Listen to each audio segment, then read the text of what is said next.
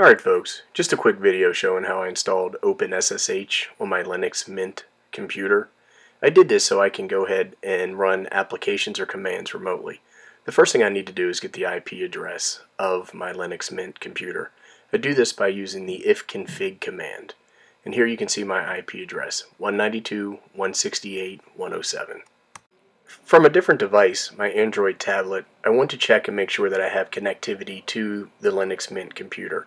I do this by executing a command called ping and the IP address of the Linux Mint computer. And as you can see, I get a response. Next, I execute a command called nmap from the Android tablet. I do this to see what ports are open on my Linux Mint computer. If OpenSSH is installed and running, it will return a value.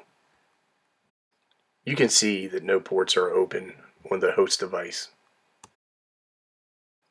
Now, from my Linux Mint computer, I'm going to update my repositories that I install software from.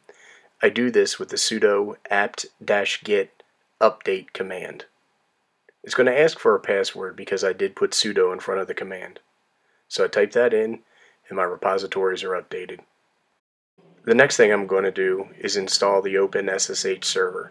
I do this with the command sudo apt-get install open SSH dash server.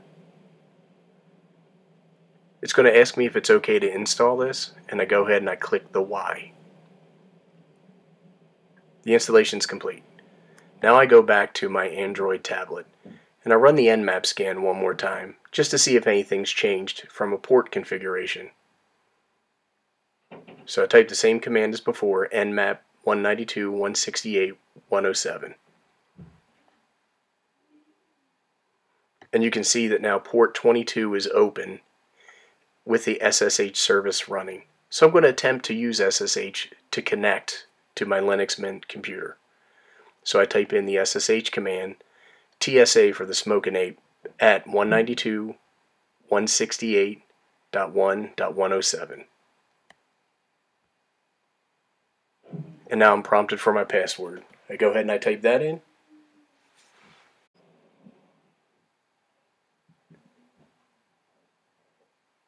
And now I'm connected. I'm just going to execute a few commands to make sure that everything's working correctly.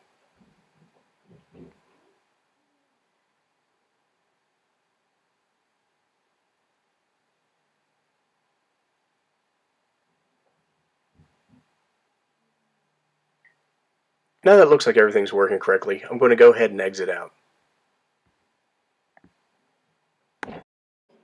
Okay, now we're going to switch back to the Linux Mint computer. From a terminal, we're going to go ahead and we're going to check the status of the OpenSSH server. I do this by typing service space SSH space status.